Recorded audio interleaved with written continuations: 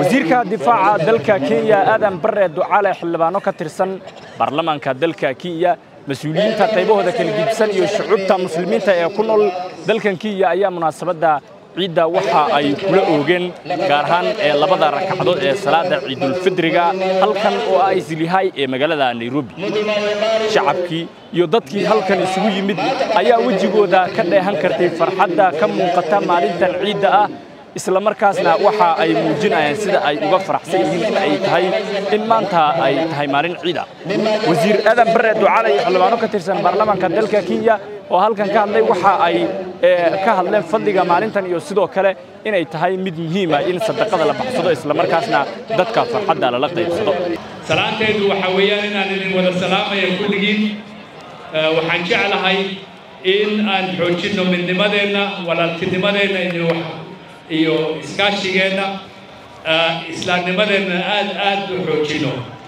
Maanta waa maalin farxad weyn annagoo kumanaana ayaan isugu nimid waddan nabad ay ka jirto. Nabad waddan nagala jecel yahay. Oo dadkeennu ay si fiican u joogaan oo ay ka shaqaystaan.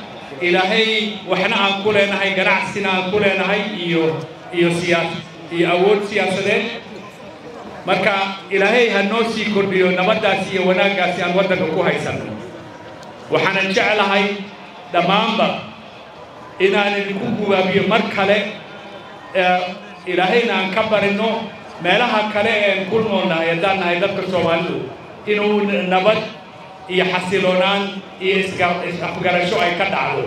Waad mahadsantihiin bulshadaan ka muuqatiin ganacsiga iyo nabadgelyada waddanka qayb weyn baad qaadateen.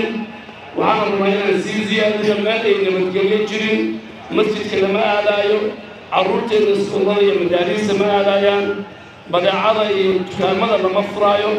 Marka waxaan rabaa qof kasta oo meesha joogo waddankeenni waa waddankan waa waddankaan ka ganacsanaynay waa waddankii aan deganay waa waddankii aan carruurteeda iskuullada aadaayeen waa waddankii waalidkeenna ay nala joogaan waxaan rabnaa qayb weyn ka qaadanno horumarkiisa dhaqaalihiisa iyo nabadgelyada waddanka. Qof kasta oo waddankan u dhashay mas'uuliyaad ka saaran inuu xaafadda u joogo guriga u joogo meesha ku ganacsanayo nabadgelyadeeda inuu wakhti kasta uu tixgeliyo. Waad mahadsantihiin waad mahadsantihiin ilaahayna hanaga aqbalo salaadeenna iyo soonkeenna iyo cibaadadii samaynay iyo masaakiintana maanta hala quudiyo.